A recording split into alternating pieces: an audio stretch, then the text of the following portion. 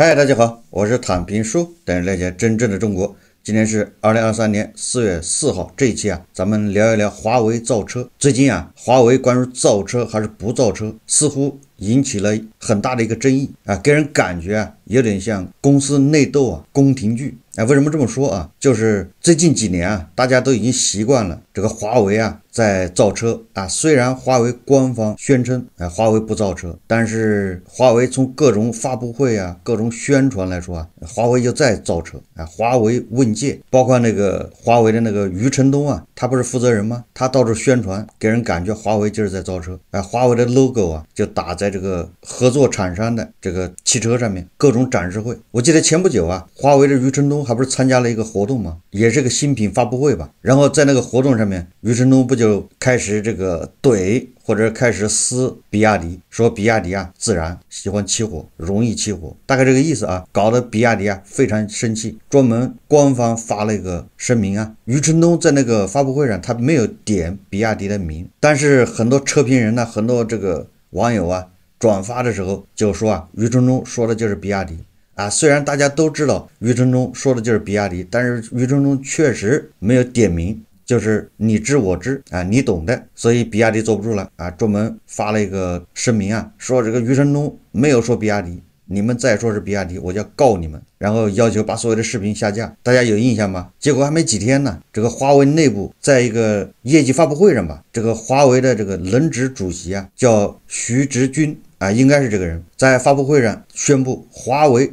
不造车啊！现在外面宣传的什么华为造车都是假的，哎，是这个意思啊！大家可以自己看原文去。总之，他否认了华为造车，而且说华为不造车，华为只为合作厂商赋能。后来这个任正非啊，还签发了一个文件，宣布啊，五年之内华为都不造车。然后余承东在他的社交媒体上写了一段话，这话我也没记住啊，大概意思就是说，让时间证明一切。这很遗憾呢。后来这个余承东啊，就要求所有的 4S 店呐，所有的门店啊，所有的合作方啊，把华为的 logo 啊，全部要去掉。后来还有传言啊，说这个华为的呃董事长这个孟晚舟啊，还说了华为内部造车是有内鬼啊，就是违反了公司战略啊，为了部门或者什么利益去造车，与公司的发展路线严重不相符等等这意思吧。如果说不能纠正，不能改，那么就得走人。啊，开除这个也也是传言啊，但是我想啊，你从这些表现，就是公开的报道来看，这个华为是有内斗的，这是秃子头上虱子明摆着。因为华为的轮值主席啊，徐直军啊，他说不造车都没用，按道理他是说了算的。大家别搞错了啊，这个余承东、余大嘴在华为排不上号啊。我说的排不上号，就是决策这几个人里面没有他。他应该排不进华为的这个前五号人物，这我对华为不太了解啊。总之，决策层里面没有这个余承东。你比如说啊，华为公司层面的这个董事会估计没有他。那这个轮值主席徐直军呢，说话都不好用啊，最后还得任正非出来签文件啊，公司内部进行宣传。啊，这个造车是非法的，说明什么？说明徐直军说华为不能造车，余承东根本就不听。啊，最后还是任正非出来力挺这个徐直军，余承东啊才作罢。所以就华为造车这个啊，我来谈一谈我的看法。我看的角度啊，可能跟别人不太一样。很多人就问呢，你看很多造车新势力，很多人现在都是打破脑袋要去造车。你比如说小米要造车啊，苹果要造车，贾跃亭要造车等等啊，连许老板都要造车。徐老板的车都已经造出来了，那华为为什么一会儿造车一会儿不造呢？实际上，在华为内部，这就是路线之争嘛。有造车派，有反对造车派。说简单点，实际上就是华为的造车啊，走 to B 的路线还是走 to C 的路线啊？余承东就是 to C 路线的代表，华为内部形成了一致决议。是要走 to B，就是为造车企业赋能啊，自己不冲到前面去，不打华为的牌子，这有什么区别呢？说俗一点，就是造车还是不造车。咱们从任正非的角度考虑啊，任正非是不造车啊，这是为什么呢？实际上你要想啊，为什么很多人一讨论什么电动车，就特别容易陷入这个技术流啊，觉得哎呀三电呐，什么这个技术那个技术啊，实际上这个是非常低端的，就是你考虑问题方式已经被淘汰掉了，从一个。公司的一把手啊，就是任正非这样的角色，他考虑造车和不造车，他有几个维度啊，几个因素啊决定哪几个因素呢？就是他必须要考虑的。第一个就是资金，你造车钱从哪儿来？哎，这个钱不外乎啊，有这么几个来源。第一个是融资，对吧？融资就是股权融资啊，还有一个叫什么？你借款融资之外还有什么呢？补贴，对吧？我造车期间可以从国家拿多少补贴？然后什么呢？然后就是我在这个地方造车，地方政府有没有配套资金啊？各个地方呢，产业园、高科技啊园区、高新什么开发区等等啊，他们都有这个产业基金或者之类的。都是政府设的，只是放在什么城投平台下面等等，总之是地方政府设的，呃，引导基金。如果你要在那个地方造车，政府十有八九会配套给你这个资金，哎，有可能是股权融资，也有可能是借给你很低的利息，这叫撬动嘛。所以他第一考虑的是资金，第二考虑什么呢？营销，就是你这车造出来卖给谁啊？你讲个什么样的故事啊？消费者为什么买你这个车啊？第三个什么呢？哎，就是一些杂七杂八的杂项。就是市场准入啊，造车的牌照啊，你跟人合作对吧？借别人的生产线呢，还是你自己自建生产线呢，等等，就这些杂项，这个都不是问题啊。第四个是什么呢？技术，就是我这都有了，我也有钱，我这营销也可以啊，就是目标用户我也已经精准定位了，政府的审批。程序没问题。第四个就是技术，还有一个什么呢？还有一个就是售后。其实售后啊，也可以把它放到营销里面。哎，大家有没有发现？你要按优先顺序来排的话，技术是排在最后的，是最不重要的。像比较而言，最重要的是钱，没有钱免谈，你什么都没用。那华为还没钱吗？大家很多人觉得华为多有钱呢？你错了，对吧？我大概看了一下华为的这个财报啊，它好像去年是。收入是六千多亿吧，看着这数还可以，但是利润啊只有三百多亿，是较前几年下跌比较快。哎，我有印象啊，以前大概一九年或者什么时候，华为的利润反正到过八百亿啊，就是说这么多年华为的利润下滑比较厉害。那这个其实也不要紧，但是华为它是一个不能上市的公司啊，它是非公众公司，而且华为是上不了市的，它没有办法上市，它这个股权结构决定了华为为什么不能上市，大家自己在百度啊。或者是什么搜一下这样的文章特别多，上不了市，上不了市就导致什么呢？导致如果华为要造车的话，那对它的现金流是个非常大的影响。现在造车动不动几百亿扔进去，这个是最起码的配置啊，资金需求啊。那个贾跃亭跑到美国造车造了九年啊，花了两百四十多亿。现在造了个车壳子出来了，好像验车也出来了吧？下线了，花了二百四十亿。徐老板造车花了多少钱呢？好像粗算一下是四百亿。小米造车，苹果造车花多少钱呢？再看看这个所谓的啊，造车新势力。什么未来啊、理想啊、小鹏，你看看他们烧了多少钱？现在是什么个结局？就是说，新能源汽车第一要素是钱，你得把钱砸下去，砸的越多越好。华为有钱砸吗？华为没钱砸，因为这些造车新势力啊，你包括贾跃亭，他那个钱都是融来的，都是融资的。华为，你看那六千亿的营收。那个全是自己血汗钱的挣来的，然后工资一发，然后这个费用一付，嗯，不剩多少钱了。他哪有钱拿去造车啊？拿去试错啊？没有人拿自己的血汗钱就造车的，都是融资。有人说华为可以借钱呢，问题是你华为借钱拿什么做抵押呢？你现在造车，等到你做到盈亏平衡，哎，等到你赚钱，那个可。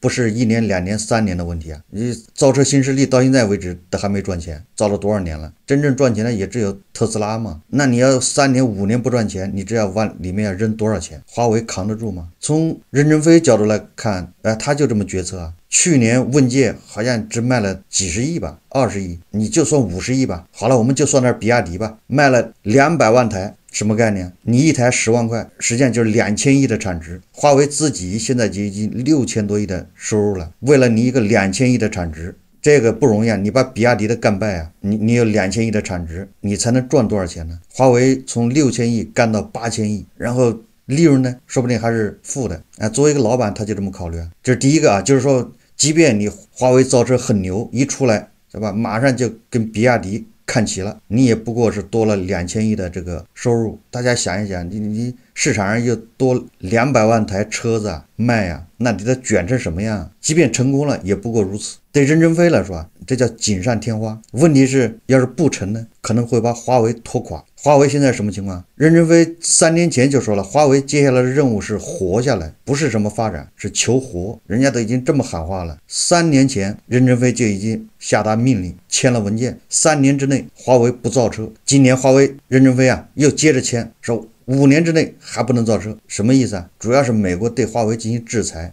制裁完了这个，华为现在元气大伤，要么说华为的利润。一直在走下坡路呢。我去年就说华为要裁员呢，华为实际上现在要开源节流，他哪有钱去造车啊，去烧啊，他也没有办法去融资。所以很多人觉得华为家大业大，有的是钱，这个造车的钱拿不出来吗？你错了，他就是拿不出来。所以你看，这华为的这个决策层啊，直接就否定了造车啊，别造了，你做 to B，to B 什么意思啊？就是咱们研发研发完了之后，这些通讯呐，这些软件呐，这些技术啊，卖给这些厂商，啊，咱们给厂商做好服务，有钱就赚钱，没钱就算了，这投入不大呀，亏了那是厂商的事啊。至于什么营销啊，什么准入，什么技术，这个对任正非来说，这都不叫事啊，可以解决，核心就是钱嘛。现在华为整个的是要稳住，要活下来，明年比今年更惨，所以叫未雨绸缪啊。这个时候你就不能再投资了。这个华为实际上跟咱们韭菜空一己是一样的嘛？咱们韭菜空一己，现在现在虽然还有饭吃，但是你一考虑到明年好像要失业，你现在还投资吗？你这不是疯了吗？所以说，你看你把这个华为想简单一点，跟咱们韭菜是一样的。你现在赚点钱，赶紧存银行存着，存工行啊！现在能不花的钱就不花，能少花就少花，尽量多赚钱，不要投资，更不能加杠杆，加杠杆你肯定暴雷。这是华为这个管理层。决策层他们考虑问题就这么考虑。那从余承东角度说呢？因为余承东他是华为造车派的代表势力啊。你要知道，每个公司它有不同的利益代表的，造车有造车人的这个利益啊，不造车有不造车的利益。那余承东就是造车派的代表。这个余承东啊，他以前他不是负责手机吗？就是 to C 啊，他叫消费者业务吧，还是什么？搞不清他怎么架构啊。总之。手机是余承东负责，大家有没有想过啊？为什么在社会上面或者网络上面，大部分网友啊不知道什么徐志军，顶不济知道一个孟晚舟。孟晚舟是因为被美国、加拿大一抓才火起来，大家才知道，否则孟晚舟很多人都不知道。你别看她是任正非的女儿，大家知道的就是个任正非。但现在余承东的知名度非常高，为什么？他就是负责 to C 业务，to C 业务就是做品牌，就是让消费者都知道。熟知，所以他经常做演讲、活动、推广、营销，都是他。所以大家说他是徐大嘴呀，一开口，华为的手机那就秒杀苹果。大家可以看看华为这个余承东的演说，我们都非常惊讶，就是我们原来这个中国车厂的这个质量管理能力啊，这样我们评价在以华为的质量标准说，它还处于石器时代，石器时代啊。但跟我们合作以后，我们觉得它的质量管理体系。啊，能超越了的很多车车厂的同行的水平，能做到一流的啊，超一流的这种水平。我刚说我在这个手机用我们的质量管理体系啊，我们把我们的手机的故障率接手这个业务时候，我说我们的故障率啊，真的是是是苹果的好多倍。那现在是倒过来了，现在苹果的手机的故障率啊，它是我们好多倍，就我们是它的好好几几分之一，就是靠我们的不断的这种精益化的管理，我们质量体系的管理的能力来提升的。他这个大嘴有的时候不仅攻击对手啊，有时候把友军也给伤害了。他说传统的汽车厂商管理水平太差，你看那些跟他合作的传统车厂，这心里不是哇凉哇凉的，不是骂娘，吹就吹，你踩我干啥呢？你说江淮汽车我招谁惹谁了？是不是道理啊？所以说他是于大嘴呢，就这意思。但是他的知名度高啊，很多人不知道华为的轮值主席是谁。哎，这个人到底干什么的？为什么当轮值主席？但是很多人知道余承东，就是这道理。所以我说说啊，余承东为什么一意孤行的要造车？首先，第一个是为个人利益，哎，这是我推测的啊。因为基子他主观上不是为了个人，但是客观上他个人获得很大的利益，就是我刚才说的知名度。他如果做 to B 业务，网友不会知道有这么一号人啊。余承东啊，你顶多在这个造车小圈子里面，或者造手机的小圈子里面有知名度。人家知道你，但是你走向网络，对吧？走向消费者，没人知道你，因为你做的是 to B 业务嘛，你跟那些厂商打交道，给厂商赋能。他一旦做这个 to C 业务，相当于在宣传他自己啊。你看，你一说苹果，你就会想到乔布斯；你说乔布斯，就想到苹果。那乔布斯死了这么多年了，但是现在很多人把苹果转移到库克身上，一说到库克和苹果，这样划等号。华为手机也一样的，你一说华为手机，很多人要跟余承东划等号去了，不是跟任正非。我说。很多人啊，就是这个宣传会越来越这个趋势。华为手机现在不相当于停掉了吗？所以这个趋势停了。要如果华为手机这么做下去的话，可能很多人就把余承东跟华为手机划等号了。那余承东个人价值是巨大的。如果华为造车成功了，大家想一想，这余承东是不是个人价值又一次飞升呢？我记得这个微信啊获得成功之后，那个微信负责研发的那叫张小龙吧，这个。微信广州研究院的负责人吗？以前谁知道他？这都知道马化腾。后来微信一成功之后，反正有那么几年就疯狂的宣传这个张小龙。大家回忆回忆，搞得一度啊，大家都不知道马化腾是什么人了，就知道张小龙。微信想合作，你就找张小龙，找马化腾不好使。微信里面能不能放第三方的链接？哎，张小龙说了算。所以说，呃，造车啊，对余承东个人。肯定是有百利而无一害，你看客观上，所以它也造车的这个欲望和动力。第二个呢，就是部门利益啊。你想，余承东以前是负责手机的，这个华为手机啊，正是如火如荼的时候，正在上升期啊，要跟苹果 PK，结果被美国制裁了。啊，从这个部门来说啊。兄弟们饭碗没了，你得给兄弟们找出路啊！那你这造手机的这批人干啥去啊？卖掉了一批，对吧？他这个荣耀啊，他不是卖掉了吗？那还有一批人呢，怎么办？你不能给别的部门打杂呀。那个在华为内部，他也是有鄙视链的，也是有等级的，所以还得找范哲，所以要造车，不让我造手机。咱们造汽车玩个大的，所以华为内部不是余承东一个人要造车，肯定是有一波人要造车啊。如果余承东一个人要造车，他也造不起来啊。就是以前造手机的那批人啊，有既得利益者，哎，他不一定是到余承东这儿，说不定级别还更高的支持余承东造汽车。然后余承东他就觉得华为造车靠谱啊，从他角度来说，他不想钱的事啊，钱那是。华为的事那是老板的事，他考虑什么？你看啊，这些造车新势力说技术没有我强，咱们有技术，最核心的是营销啊。那华为的营销水平。那绝对秒杀这些造车新势力，以及什么比亚迪啊，比特斯拉都厉害。这个大家不能否认吧？以前造手机的时候，你看看华为多能营销啊！华为造手机，它是后发先至啊，就是它并不是最先造手机的，它是后来才造手机，反而把人家先造手机的全部甩到后面去了。你不能不说华为的营销水平非常高，华为的海军呢，嗯，买华为就是爱国啊，买小米都不一定是爱国。你别看都是。国产品牌啊，只有买华为才是爱国，买什么 OPPO 啊，格局低了。那不仅不爱国，格局还有点低。那为什么会有这印象？你就不能不佩服华为的营销啊？刚才说了啊，营销决定你这个车能不能卖得掉。就是你的车有什么毛病不重要，车有毛病可以靠。售后来弥补啊啊，顶不济给你召回，零件给你换一遍，花不了多少钱。你这车有故障，他搞几个案例啊，搞几个车主啊，比如你驾驶华为的什么汽车啊，要到西藏挑战这个电池的是吧？什么极寒情况下它的续航里程，他只要找一个车主就行了。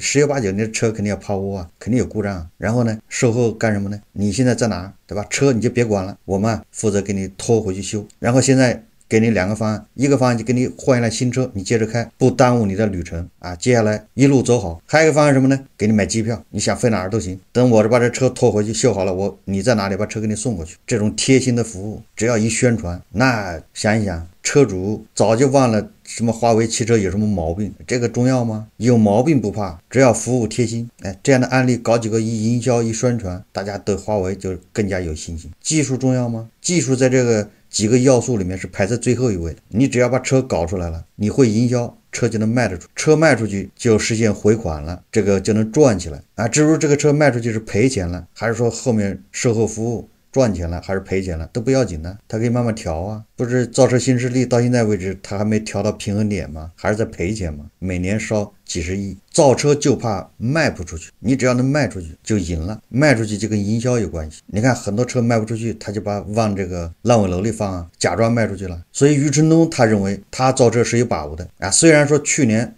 好像华为的问界呀也不怎么样，但是他认为我今年在努力，这个势头非常好，因为合作的厂家又多了嘛，我这个营销也跟上了，第一炮就开向比亚迪。啊，其他的都不是对手啊，都没有办法进入华为的眼里啊，都不不配做华为的对手，所以一出手就对准这个比亚迪，要的就是个老大的位置，搞手机那一套玩法。又来了，是这个逻辑吧？但是余承东这个时候造车确实晚了一点，尤其对华为现金流这么困难的情况下，你要是早三年造车，你不还有补贴吗？还可以从国家套取补贴，好歹还有点钱。现在补贴已经停了，今年一月份新能源汽车补贴停了，全靠你自己了。你说咋弄啊？你像比亚迪，像这个很多造车新势力补贴这一块没少吃啊。今年一月份补贴停止了吧？你看现在很多造车新势力啊，造车厂商就关门了，停产。好像那个长沙一个叫什么天际汽车吧，也是造新能源汽车的。杭州一个什么汽车，这网上这个停产的这个新能源汽车多的是啊。那为什么补贴一停它就停产呢？补贴没停的时候，它还在生产呢。你只要国家敢给补贴，我就敢。不停产，你补贴一停，我就停产，大家就知道这里面的关系了。你华为没赶上这一波啊，好日子没赶上，所以说造车晚了一点。但是余承东他不这么想，他认为晚不要紧，现在正当时啊，华为只要一努力，就可以秒杀这些国产的新能源汽车这些新势力，拿下比亚迪也不在话下。然后他自己还说啊，时间会证明一切，意思就是你们这帮人不造车，以后会后悔的。关于新能源汽车啊，那是早造早受益啊。四月二号啊，在中国电动汽车百人会论坛上面呢，这个国家信息中心副主任徐长明啊，这是个副部级干部啊，他说啊，新能源车企巨头掌握行业定价权，特斯拉、比亚迪等头部新能源车企的利润空间较好，具备继续降价能力。他认为，行业价格是由龙头企业决定。比如特斯拉在二零二三年初降价后，带动大量车企跟进。我记得国内有很多小粉红啊，说特斯拉降价是因为特斯拉卖不出去了，特斯拉卖不掉。你看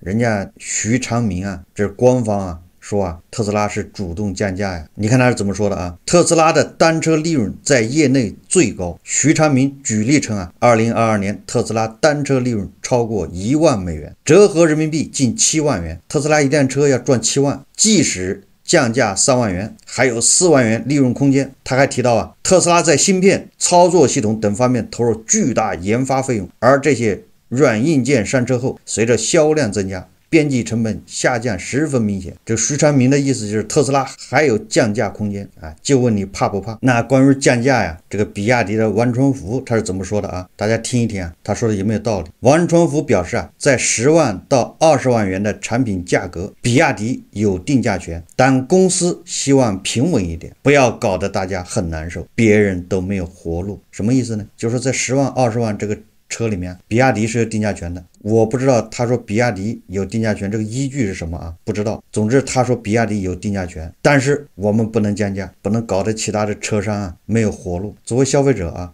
我听到这话我就觉得心里不是滋味。那你其他的车商啊没有活路，你为了他们，那就要割咱们韭菜是吗？就要让我们多花钱是吗？谁能让我们少花钱？谁能让消费者啊以更便宜的价格买到更好的车？这个厂商才是良心厂商呢。你为了其他的车厂啊，让他们有活路，就可以把车卖的贵一点吗？因为他有定价权，大家记住了，他说多少就是多少，那你就把价格定的高一点是吗？所以啊，我就特别希望这个特斯拉呀来卷，那特斯拉还有降价空间。二零二二年是七万块钱一辆车这个利润呢，那二零二三年一月份已经降了一点了，实际上它还有一降，最终降到一一辆车它赚两万就够了。这些国产的什么新能源汽车啊。裤子都要掉下来，就得卷啊！只有卷才对咱们消费者负责任呢，才有利于咱们消费者，才能把整个价格给打下来。只有你喜欢哪个车，你喜欢比亚迪这种高科技的，啊，买它去开滴滴，那是你个人的事啊。你喜欢特斯拉，那你买特斯拉呀。只有这样一卷，整个的价格才下来。去年年底的时候，所有的造车新势力，包括比亚迪，信誓旦旦都是不降价、不跟进啊。特斯拉是你自己卖不掉，所以你降价。你看。今年过完年，这脸就打得啪啪啪响，一个比一个降得更狠。为什么？你不降价，消费者不买呀，人家都不傻。所以咱们作为消费者啊，热切的期盼这个特斯拉再来一轮降价啊，特斯拉再降一轮，所有的厂商又得跟着降。你不降，你不降，你卖不掉，你只能往烂尾楼里放。哎，所以从这个角度来说啊，我是希望，我是支持华为造车的。因为华为有实力啊，他来一造车，那来个大家伙来卷，这个新能源汽车不就更好看了吗？这个消费者选择的余地不更多了吗？只有这样卷，这个新能源汽车里面这些猫腻啊，啊这些花里胡哨的、华而不实的、收智商税的才会越来越少，因为他活不下去。你说你买了个新能源汽车。那个车本身就值个几万块钱，结果里面装饰啊、高科技的东西太多，一下变成六十万豪华汽车。你说你找谁说理去？这个就好比你花了一百万买一套房子，结果你花了六百万去装修，你不是有病吗？这没法治啊！这个。你看国产新能源汽车里面拼的就是谁的屏幕大、全景天窗、按摩座椅，总之各种花里胡哨的。忘了你不管是新能源汽车还是燃油车，不管什么车，它就是个代步工具啊！啊，有人说国产汽车这个自动驾驶啊技术非常好啊，又是什么多少个级别啊，在那儿如数家珍呢？你看看啊，这个比亚迪集团董事长王传福在比亚迪二零二二年年报交流会上谈到关于二零二二年豪华品牌电动车降价促销，王传福称啊。很多豪华品牌电动车销量惨淡，有的产品七折八折卖，丢人！一个月卖几百台，我要是他就不去卖，打七折，品牌怎么做？你看这王传福，他居然说那个所谓的豪华品牌啊，他不要打折啊，你就这么高的价格顶着去卖，你打折卖多丢人呢？怎么感觉好像他就是跟消费者过不去呢？王传福还说啊，在自动驾驶上是被资本裹挟，这些年都是忽悠，高级驾驶辅助。才是实实在在的，是一个高级配置。高级驾驶辅助是有市场的，但是也不要对它期望过高。总之啊，王传福把这种什么所谓的自动驾驶啊，哎，这个否决了，那个就是噱头，就是忽悠。所以我说啊，从一个消费者角度来看，我是希望华为要造车啊，你的卷，这样消费者才能买到更便宜、更好的车。哎，如果从整个汽车产业来说啊。华为能够杀入新能源汽车，那对国产的新能源汽车这个整个品质提升、这个能力提升，肯定都是有帮助的。那国产汽车啊，走出中国这个步伐呀，啊就会更快、更稳健。你看现在比亚迪三月份卖了。二十万辆车，我不知道他给国外卖了多少辆。总之，我看到德国说这个新能源汽车啊，特斯拉卖了一万四千多辆，三月份啊，比亚迪是五十辆。哎，我一直说你在国内卖多少台都没有意义，因为你可以往烂尾楼里放啊，你可以用各种手段造假，说我这车卖出去了。但是你在国外这一套好像就玩不下去啊，就你得卖到国外，你才是真厉害，让外国人呢都争先恐后的下订单买这个比亚迪啊，这才能叫成功啊。然后你跟国外的消费者啊，你就是不降价，而。且还加价，而且还能卖得出去，人家还排队买，这个才叫厉害。不要割国内的韭菜，这国内的韭菜本来智商就低，遭受双重侮辱啊，多掏钱了还被人羞辱啊。所以说，华为要从这个任正非这个角度来说啊，现在介入新能源汽车确实不是个好时机。你看都卷成什么样了？这个价格都在往下跌，已经利润空间很小了，而且特斯拉很有可能还要降价，把这利润空间压没了。这个小米呀，搞汽车搞了两年了，现在人家把价位啊直接就定在五万到十万，小米汽车啊就卖五万到十万，你看卷成什么样？新能源汽车先卷起来，然后再把那些油车啊。给卷死！我说的卷死啊，不是说让油车全部倒闭啊，不是这个意思。因为油车里面有很多行业潜规则啊，哎，都是收智商税的。如果不是新能源汽车这么卷，买油车的人这个智商税啊，就一直这么交。那现在你看新能源汽车一卷，买油车的这个智商税啊，也省了一大笔啊，接着卷啊，争取把油车的这个智商税啊全部卷掉啊，对消费者都是好事啊。好，关于华为啊，为什么不造车？咱们。就聊到这里，仅供大家参考。如果喜欢我的节目，欢迎订阅转发，也可以在下方留言评论。谢谢大家。